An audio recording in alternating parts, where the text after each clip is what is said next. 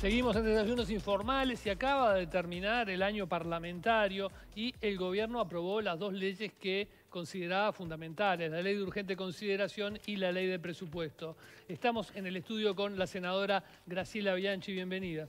Muchas gracias, mucho gusto estar con ustedes. ¿Cómo evalúa el año parlamentario que acaba de finalizar? Bueno, fue un año, este, va de suyo, que con la pandemia fue complicado, pero la verdad que con lo mismo que pasó en el resto del país, a pesar del momento que estamos hoy, lo pudimos desarrollar con bastante normalidad, porque nosotros este, no solamente aprobamos esas dos leyes que ustedes por supuesto dijeron este, que fueron las más importantes para el Estado, sino que además aprobamos otras que no fueron noticia, como por ejemplo la Ley de Derecho Internacional Privado, que el Uruguay tenía pendiente desde el año 98, este, y una serie de normas que, que bueno, que en realidad hacen el funcionamiento normal del Parlamento.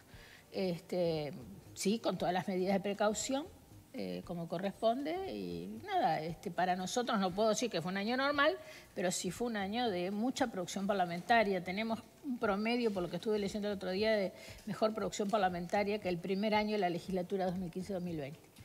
Esa producción parlamentaria se cuenta en función de los de las leyes este, aprobadas, o sea, porque digo, en ese camino está también la, LUC, ¿no? Que se cuenta como una ley, pero es, fue una ley enorme. Bueno, es una ley. A los efectos de la producción parlamentaria y de la, y de la consideración técnica es una ley con muchos artículos con distintas materias. Bueno, la ley de presupuesto tuvo 774 artículos y también de diferentes materias. Es cierto que tienen un denominador común, que las leyes presupuestales tienen un contenido de acuerdo a la Constitución, aunque a veces es tradicional en el Uruguay que siempre se cuelan otros temas en, la, en las leyes de presupuesto.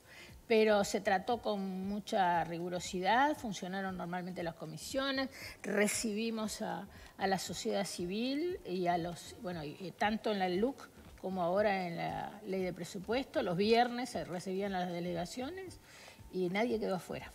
¿Y cómo en los últimos días tuvimos un episodio particular que es que una ley en Cámara de Diputados, no en el Senado, fue votada con una mezcla de oposición y coalición de gobierno. Cabildo Abierto votó con el Frente Amplio y con el PERI una ley para regular el sector forestal. ¿Cómo evalúa ese episodio? No, para nosotros es absolutamente normal. Nosotros tenemos una coalición basada en un programa de gobierno.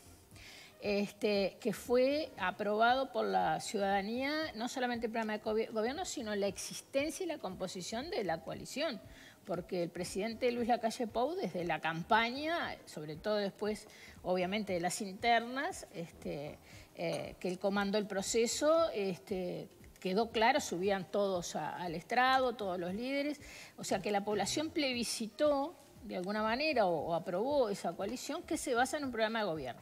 Fuera de ese programa de gobierno, cada partido es libre de tomar este, las posiciones que considere que debe tomar.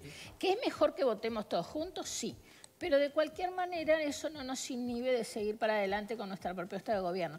De cualquier manera, ya ayer se hizo público por parte de, de Gustavo Penades, el senador Gustavo Penades, que es el coordinador de la bancada, este, que ya hubo conversaciones, y me consta, porque yo participé también, con el líder de Cabildo Abierto, con Manini Ríos, que va a hacer cambios, él mismo, eh, su bancada en Senado, este, sobre esa ley, o sea que vamos a llegar a acuerdos sin ningún tipo de problema. O sea que en definitiva no son tan libres de votar lo que quieran, porque votaron lo que quisieron y suena como un llamado al orden. Vos siempre, tenés, no, vos siempre tenés algunos comentarios que me llaman la atención. ¿Yo? Sí. A y, ver. Y te voy a decir. A ver, dígame. Y te voy a decir. Dígame. Eh, no, somos libres. sigue a Maki. Por supuesto. Muy bien, hace muy bien. Por supuesto.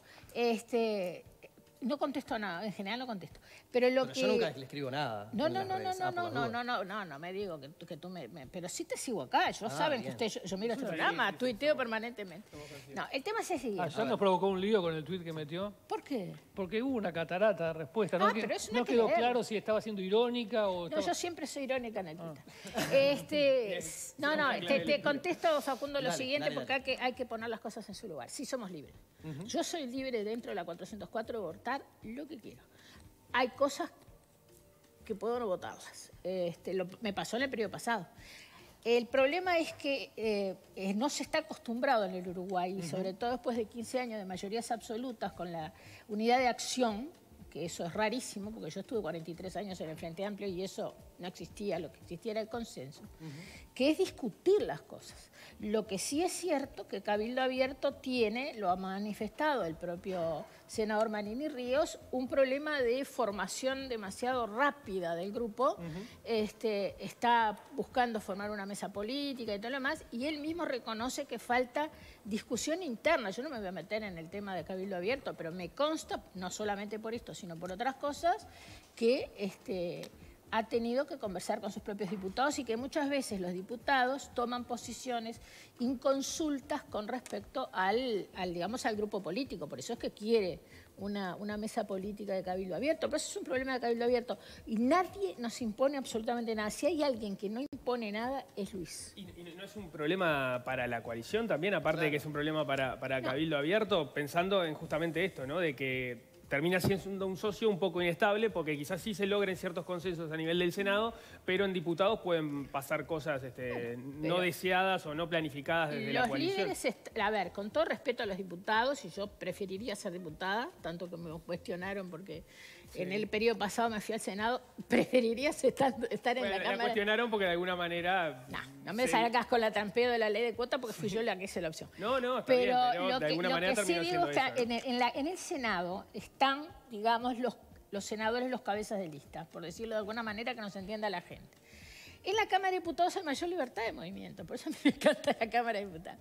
Este, pero es simplemente lo normal en, el Parlamento uruguayo, es decir, lo que no era normal era que si venía la orden de la unidad de acción, gente que pasaba en el Frente Amplio por ahora en el Senado no lo escuché todavía, pero no sé si pasó en diputados, pero pasó en el periodo pasado, se argumentaba en contra de una norma, pero después decía por unidad de acción, voto a favor. Esas son cosas que en el Partido Nacional, en la coalición, no lo van a ver y dentro de la 404 tampoco. Antes de volver sobre el tema de la coalición y Cabildo, me gustaría precisar cuáles son los cambios que se van a hacer a la ley que se han comprometido a la ley no, todavía no. Lo que pasa es que el, mayor defecto que tuvo la gestión, entre comillas, la operación política, en el buen sentido, ¿eh? la, parte, digamos, ese, ese, avasallamiento que se produjo en la Cámara de Diputados, impulsado por el Frente Amplio, que nadie entiende nada después de 15 años de extranjerización y concentración de la tierra, nadie lo entiende, pero bueno, no es la coherencia lo que ha caracterizado al Frente Amplio desde que es oposición,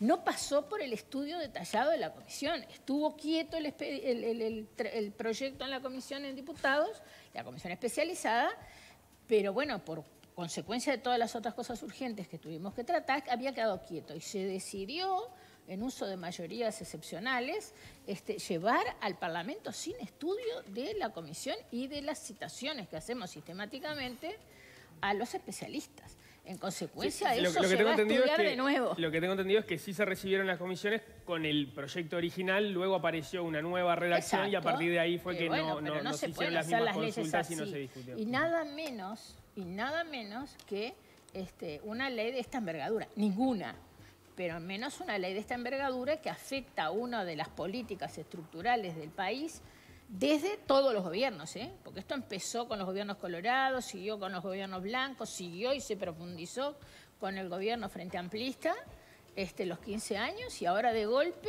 no, porque además hay que tener cuidado con las inversiones extranjeras y con la seguridad jurídica, que es una de las certezas que tiene el país. Entonces los cambios no están definidos, van a ser decididos Vamos a estudiar de... nuevo todo en el Senado. ¿Y cómo, cómo evalúa eh, al Frente Amplio como oposición en estos, en estos meses? Bueno, a mí me resulta ya no tan difícil porque yo me curé de, la desilusión y este, ya lo puedo ver con cierta objetividad. Lo veo muy mal, no solamente yo. Ayer escuché a Agustín Canzani, que creo que estuvo acá, que a mí es una persona, primero porque es presidente de la Fundación Libersereña, ya eso indica una, una postura mucho más racional en muchas cosas. Yo sigo siendo sereñista dijera Luis, sos la, única blanca, que, que, no soy blanca, la única nacionalista que podés decir que sos sereñista, pero todo el mundo ahora es abierto y por suerte sigo siéndolo.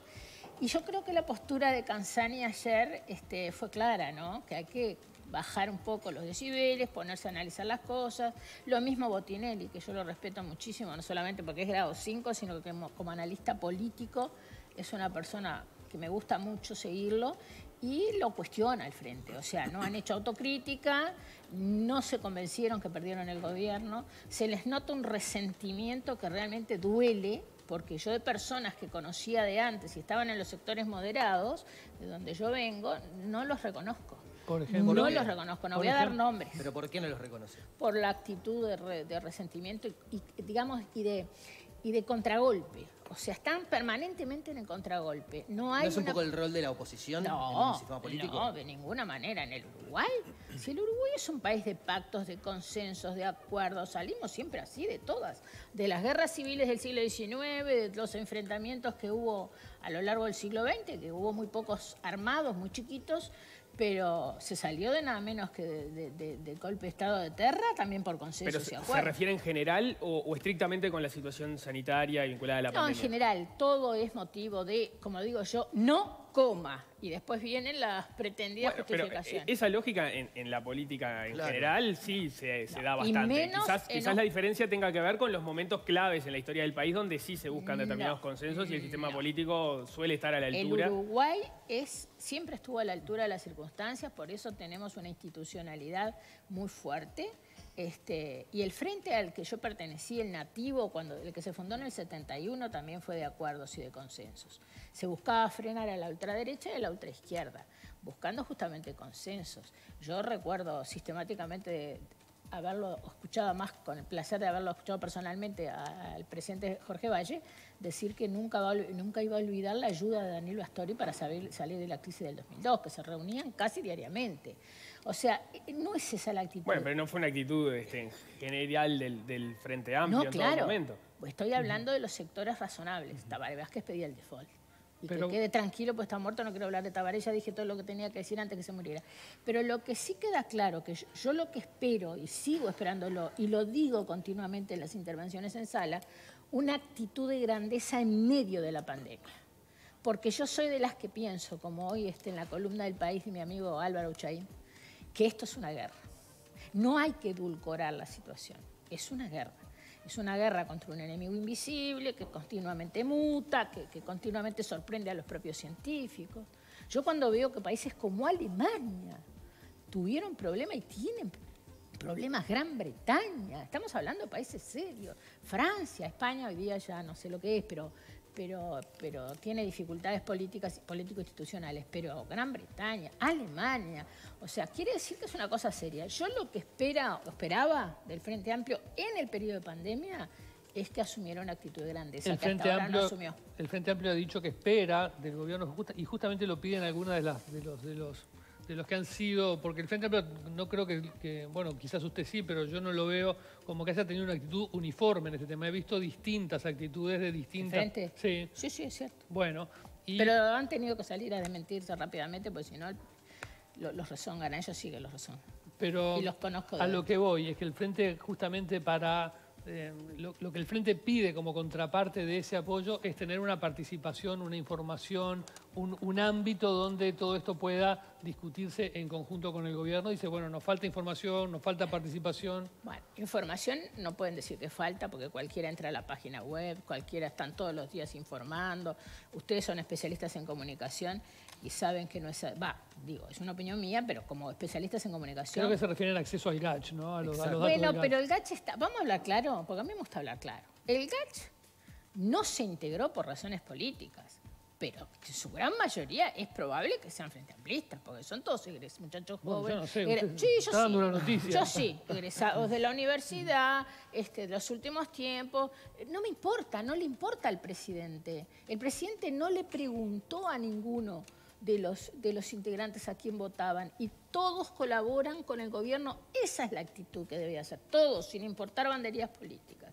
Ahora, el sindicato médico, por ejemplo, que tiene figuras relevantes desde el punto de vista de la infectología y todo lo demás, lo único que hizo fue tirar piedras desde el principio, desde pedir la cuarentena obligatoria y bueno, y constantemente socavando la credibilidad, porque lo que necesita el gobierno en este momento, no el gobierno, todas las autoridades, todas, y todo el sistema político es confianza, generar confianza a la ciudadanía. Entonces, la gran diferencia que tiene el Frente con nosotros es lo de la renta básica universal.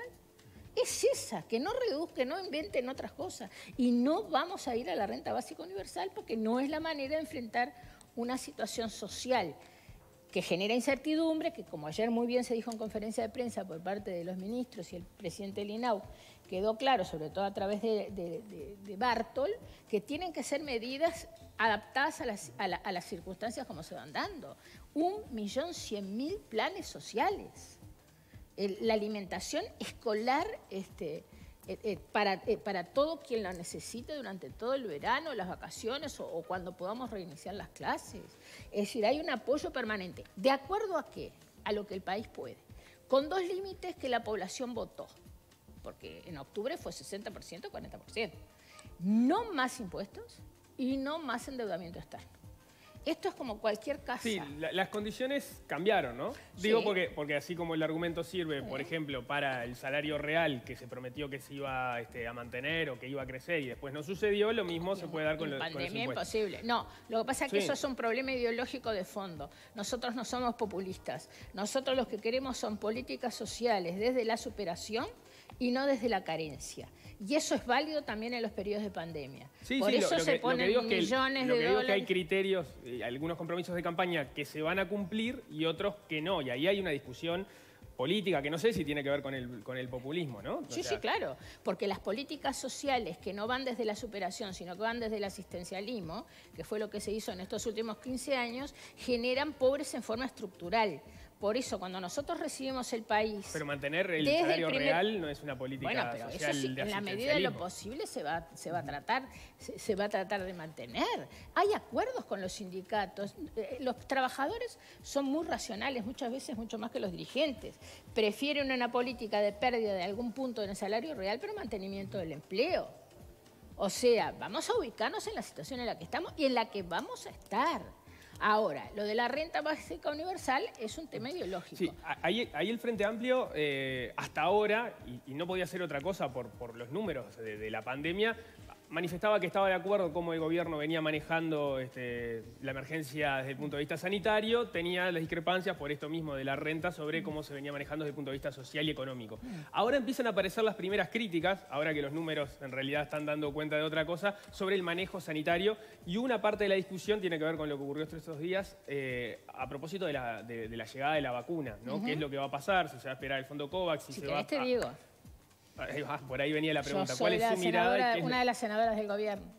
Este, ¿Qué va a pasar con la vacuna? Bueno, medrar sobre las crisis profundiza lo que dije desde el principio. ¿Pero nos dormimos con la vacuna? No, no, me consta, me consta, porque yo tengo obviamente contactos diarios con el gobierno, que lo que sí el gobierno confió, y bueno sería que no lo hiciera, es en el fondo que creó la Organización Mundial de la Salud, ¿verdad? Entonces, allí este, se reservaron este, 750 mil dosis, se reservó este, dinero, porque hay que pagar, porque todo esto que estamos dando lo tenemos que pagar. El dinero público no existe, lo ponemos los contribuyentes pagando impuestos. Y cuando no queremos aumentar impuestos para que la economía pueda seguir funcionando, y el encargado de las negociaciones fue el presidente de la República, el secretario de la Presidencia, en, comunicación permanente con, eh, con Salinas.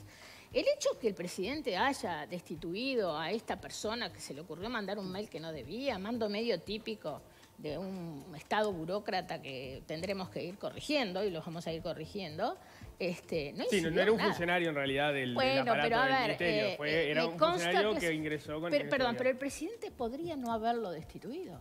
Podría haber seguido con la política de un vicepresidente que decía que era licenciado y no lo era este, y decir está todo bárbaro, yo vi el papelito y sin embargo lo destituyó, sabiendo que eso iba a traer un pequeño oleaje, digamos, en el sistema político. No le importó, porque eh, sabe, sabemos que él tiene la conducción de, Hoy también sale de, todo este proceso, en especial de la vacuna, y el secretario de la presidencia lo dijo públicamente el presidente el otro día. E, él está encargado, es decir, yo estoy en comunicación permanente con Ahora, en los hechos, hoy comienza la vacunación en Chile, en Costa Rica, en México, Argentina va a aterrizar no, Argentina, por favor. Bueno, gracias. Hoy van a dar la vacuna soviética. no, gracias. Ni Putin se la da.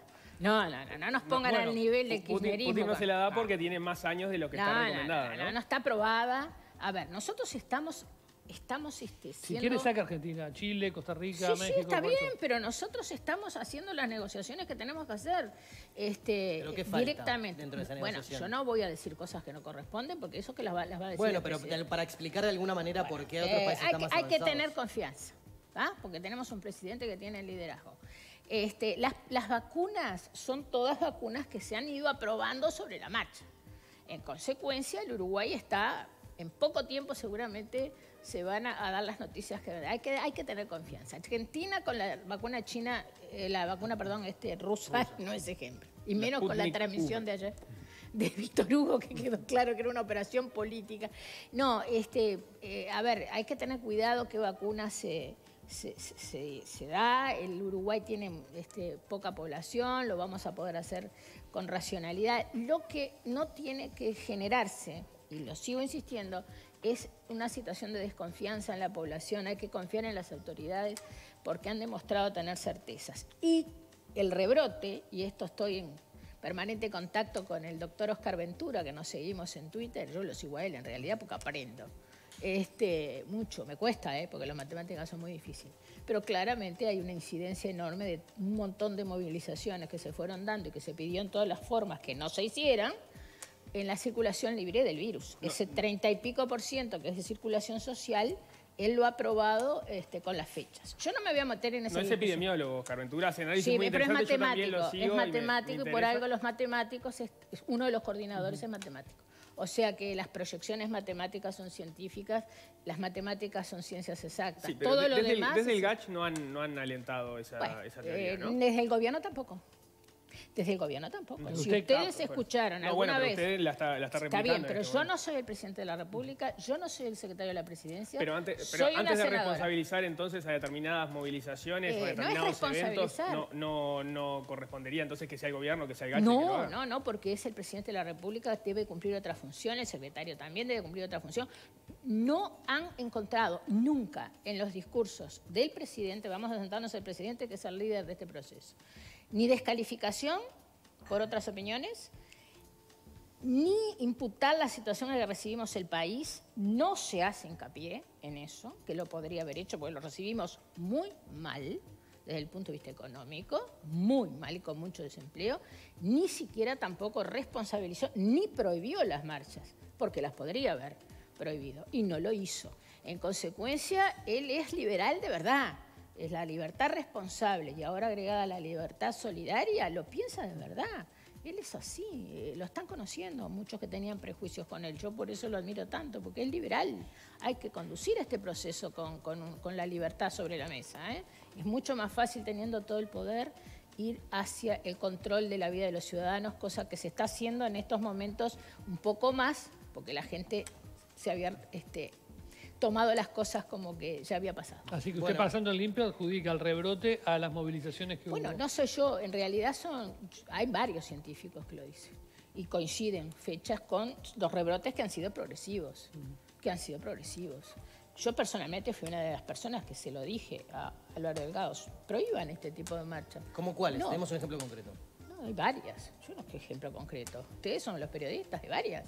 No, la claro, última, pero nosotros los periodistas lo que estamos diciendo es que en realidad la, información que se ha manejado no va por ese lado. por favor, porque además estábamos en negociaciones con COFE. Yo personalmente estaba en negociaciones con COFE por la ley de presupuesto, que llegamos a un acuerdo con este... Sí, de todas maneras, también desde el grupo asesor eh, advertían eh, que que no necesariamente las marchas eran los grandes eh, focos de contagio en el sentido de que las probabilidades de que el virus se pueda esparcir en una marcha al aire libre y con las medidas... Y sin eh, tapabocas y sin distancia social.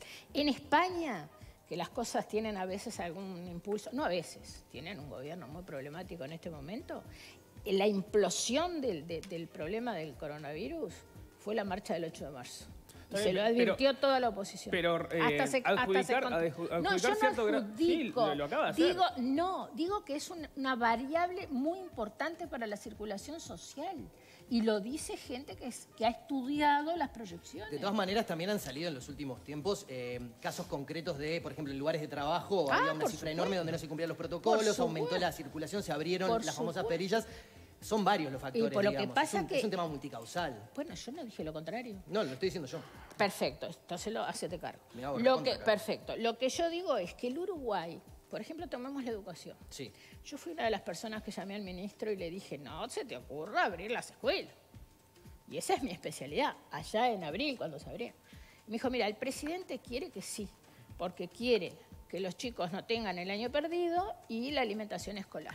O sea, y, es una y el, cosa... y el GACH señalaba que Exacto. efectivamente Fuimos había el poco, único poco país. riesgo en eso. Exacto. Fuimos el único, pero hubo algunos pocos, era evidente, estaba Bueno, en la medida que circula más el virus, previsible. podía ocurrir. sí. Pero lo pongo como ejemplo. ¿Y qué fue lo que pasó? Y fuimos el único país de América Latina que con las dificultades que tuvimos, tuvimos clases. No digo normales, no fueron normales. La Argentina, ya que se pone como ejemplo, de la, yo sé que no tú, pero bueno, en general, de la vacuna rusa, este, no tuvo un solo día de clase presencial y un solo día de clase a distancia.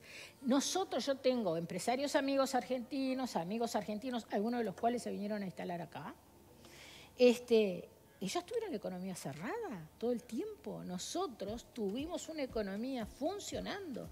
Era evidente que eso nos iba a estar, tener que estar alertas y se hicieron las proyecciones que eso aumentaba las posibilidades de circulación del virus. Pero nosotros tenemos que salir adelante. Nos dejaron un país con 60 mil millones de deuda externa, un déficit fiscal de más del 5% y casi 60 mil desocupados antes de la pandemia. Me interesa su visión de futuro en el sentido de que es posible que las cifras sigan aumentando, como Sí. hemos tenido el- las cifras de Sí. que nos enteramos ayer de tarde, que fueron récord en varios sentidos, y algunos decían que incluso si no había un cambio radical de conductas que estamos viendo, todavía no sabemos si ocurrió o no, podíamos llegar a fin de año con 1.200 casos por día. En febrero. En febrero, eh, en febrero tener problemas en los CTI, ¿no?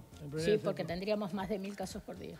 entonces, usted, como decía recién, que le, le- le sugirió al presidente que prohibiera algunas marchas, Ust- Sí, ¿no? ¿Cree, cree- al secretario de la presidencia. al secretario ¿cree que tendría que haber medidas restrictivas a, a las libertades en, en el futuro si seguimos empeorando? Miren, el otro día este, cercenamos una de las libertades importantes, que fue el, derecho, Derecho a la- derecho a reunión. Este, y bueno, eh, no entendí la posición del Frente Amplio tampoco, porque no querían cuarentena obligatoria en marzo. ¿Qué es la Sí, cuarentena el, el Frente Amplio como tal no se expidió en ese sentido, Ah. sí se expidió Vázquez, sí se expidieron al- algunos dirigentes aislados, el Frente Bien. Amplio no tomó esa decisión. Bien, dejemos así, no vamos a entrar en esa... No, bueno, pero, eh, si no, Vázquez- eh, dejemos si así, no, es así. Si Vázquez decía cuarentena obligatoria y todo el mundo iba atrás de Vázquez, bueno, dejémoslo porque está muerto, ya lo digo. Entonces, el, el- el sindicato médico, algunos sindicatos, bueno, está, no importa. El tema es, Había menos información en obvio, momento también, ¿no? sí, pero por menos información podríamos habernos asustado más. Y sin embargo, el presidente no se asustó. Y dijo una cosa que quedará grabada en la, en- en la historia del Uruguay. Es muy duro para quien tiene el poder para tomar las decisiones. Decir, coartar la libertad al 100%, no. Porque en la Argentina eh, tuvieron cuarentena obligatoria real. ¿Y acá si siguen aumentando los casos? Bueno, eh, eso, eso se verá. Probablemente tengamos que ajustar algunas medidas. Yo no tengo ningún problema en que se regla, siempre que sea por ley, que se limiten libertades, porque eso es lo que establece la Constitución. Este, yo ayer, el otro día lo decía en el Parlamento, al dar funda- mi fundamento de voto por el artículo 38, el derecho que más está limitado en el Uruguay es la libertad, siempre que sea por ley. El derecho a la vida, la ley, la despenalización del aborto este, limitó el derecho a la vida. Este, entonces, sí, claro, puede ser, pero eso lo va a decidir el presidente y los científicos y el, y el, y el este, y por supuesto que el Poder Ejecutivo en su conjunto con los ministros. Eh, en esos mismos días que se estaba votando la reglamentación del artículo 38, hubo otra, otra ley que generó mucha discusión y muchas críticas, en particular de alguien que, sé que respeta mucho, como el senador del Frente Amplio, Oscar Andrade, que eh, es justamente el- la posibilidad de que algunas empresas o sectores de, actividad le propongan al Poder Ejecutivo y a través de, él, con- con el aval del Poder Ejecutivo, prorrogar las licencias generadas en 2019, o sea, a Yo la gozar que este- informé el proyecto. ahí está, a gozar este año que se puedan gozar en el 2021. Eh, ¿Por qué se toma esa medida? Y, si no es un poco antipática para, los trabajadores, pensando en que se está terminando el año y les están imposibilitando gozar de un derecho que tienen adquirido. Sí, todos tenemos muchos derechos. Yo también tenía derecho a sacar licencia para tener más de 65 años y estuve trabajando en el Parlamento todos los días. Pero el, el tema es cómo... Sí, claro. Es en este caso no sería una decisión Sí, se necesita acuerdo de partes. no, no es lo que dice el proyecto, eh, la sí, pero es lo que dice la reglamentación. Ustedes no escucharon al ministro. Escuché al ministro y no vi, la reglamentación. Está, no es la primera vez que se aplica, además. A ver, vamos a. A mí me sorprendió la reacción de Andrade, porque como ustedes bien lo dicen, nos respetamos mucho y nos llevamos muy bien. Eso me da, es un termómetro para darme cuenta que están bastante con problemas, porque para que Andrade diga cosas que él sabe que no son ciertas, ¿ah? porque esa prorrata de los, de los días que no se trabajaron y quienes gozan de seguro especial, que estamos pagando por la pandemia. Y se pagaron antes también seguros especiales. Son, dos artículos distintos, ¿no? uno, uno, que tiene que ver con, los seguros de, desempleo y la forma que se computabiliza la licencia, y el otro tiene que ver con el goce de las, de las licencias. no necesariamente se aplican en la misma Es lo mismo, hay que leer en una integralidad el proyecto. No son, si no se hubieran presentado dos proyectos distintos. Es lo que establece la proporcionalidad, porque, a ver, la ley madre de licencia, que es del año 58, para los que creen que el Frente Amplio se fundó en el 2005, este, establece claramente que el, salario vacacional, el derecho a gozar licencia, se genera, y después alguna modificación posterior, que lo estructural lo mantuvo igual, el derecho a gozar licencia es a prorrata de los días trabajados. O sea que no estamos alterando absolutamente nada. El seguro de paro especial se está dando por la pandemia. Antes se dio, yo nunca lo voté por ese sentido populista que consideramos que se tiene que terminar. Ese dinero tiene que utilizarse para crear fondos, eh, crear eh, fuentes de trabajo genuinas, porque lo que quedó en claro después que se terminó la bonanza económica mm, de los commodities es que todo, casi todo era papel pintado. Y la gente quedó como quedó el primero de marzo, y un poco antes lo que pasa que no se decía la verdad. No, ese, ese texto es de acuerdo a la ley madre, le damos la potestad al Ejecutivo a través del Ministerio de Trabajo de que se haya, prorrata, pero lógicamente encima que están haciendo uso, y está bien, de un seguro de paro especial, que pagan todos los contribuyentes, ¿le vamos a pagar si hace huelga? Y no, ¿saben una cosa? yo como... Bueno, pero se le va a pagar y ya hubo antecedentes en gobiernos anteriores. Que eso es lo que me llama la atención que no diga Andrade. Si él ya sabe que hubo antecedentes porque las empresas se presentan, el ministerio como corresponde, porque la gestión le corresponde a los ministerios. Si todo lo vamos a resolver por ley, nos trancamos, en el, hubiéramos trancado en el siglo XIX. Está la ley como marco y después la gestión es el, Poder Ejecutivo y, los distintos organismos desde el 20 y 2021, entonces autónomos y servicios descentralizados. Ahí está, usted lo dice por la vía de excepción, esto ya estaba ocurriendo. Claro. De, todos modos, para, precisarlo, el proyecto no ata la situación de los seguros de paro que se estuvieran este, dando este año con... Lo leo, lo tengo acá. Dispónese que en aquellos sectores de la actividad privada en los que por razones fundadas así lo autorice el Ministerio de Trabajo y Seguridad Social, se podrá postergar en todo o en parte el goce de la licencia anual generada por los trabajadores durante el año 2019. Lo defendí en el Parlamento, ¿cómo lo voy a negar? Y lo que se hizo fue si ustedes leen la exposición de motivos, porque la exposición de motivos es obligatoria presentarla con el proyecto de ley, porque ahí está el espíritu de la norma. Se basa en los dos decretos, especialmente el primero del 2020 por la pandemia, en situaciones difíciles por la pandemia. Es todo coherente. ¿eh? Ya se presentaron 10 u 11 empresas y el, Ministerio está estudiando la situación y en acuerdo con los trabajadores se va a, a firmar este convenio y si no hay acuerdo decide el Poder Ejecutivo de acuerdo a las posibilidades que el país tenga. Porque nosotros no somos Alemania, que tiene casi nueve, años perdón, de superávit fiscal. Entonces tiene espalda para bancarse a sí mismo y para bancar a toda Europa. Le cambio de tema para Nosotros no. porque se nos fue el tiempo. Hubo una discusión también muy violenta en la comisión que eh, trató el tema de... Eh, el Tribunal de Honor a Gilberto Vázquez. Ah, yo no estaba, ¿viste? No, yo sé que no lo conozco. Pero bueno, hubo un intercambio muy fuerte de opiniones entre Gandini, con Bayardi. se levantaron, se fueron. Eh, hubo un coronel que dijo que le dio en la mano a Bayardi las actas. Bayardi dijo que es toda una operación para justificar el no voto del desafuero a Manini, que finalmente, para resumir, ¿qué, opinión tiene de lo que pasó? Con ¿En esa comisión? No, no en la comisión, con el Tribunal de Honor de Gilberto El mismo modus, operandi que, que, se inició con, cuando salió este, eh, cuando el, proyecto de gobierno de, perdón, de los derechos humanos del Frente Amplio, después que salió sobre todo la, la resolución de la Convención de la Corte Interamericana sobre el caso Helman. O sea, todo venía bien, arreglado con los militares, este, Bertolotti lo dice en, Penal 19, este, y después fue prueba trasladada este, en, los otros expedientes. Eh, el 2016 eh, iba al fue al archivo, Nadie me puede decir en el Estado que si yo soy jerarca de un servicio y no vienen los, tribunales de honor, no digo, señores, esto se para hasta que me vengan los tribunales de honor. ¿Cómo voy a tomar una resolución solo, solo con las últimas 10 páginas de un expediente? ¿Pero que no se están tomando el pelo?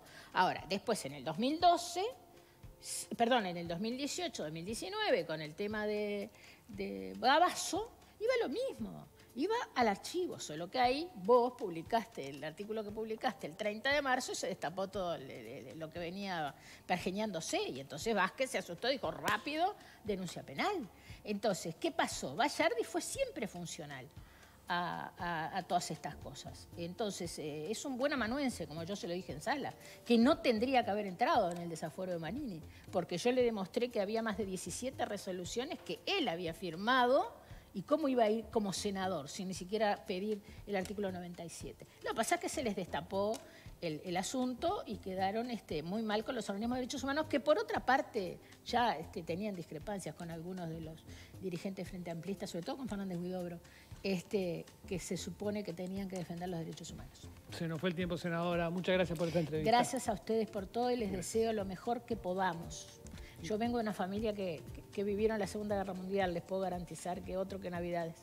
Así que este igualmente para, eh, usted. para ustedes lo mejor. Felices Muchas felicidades. Nosotros vamos a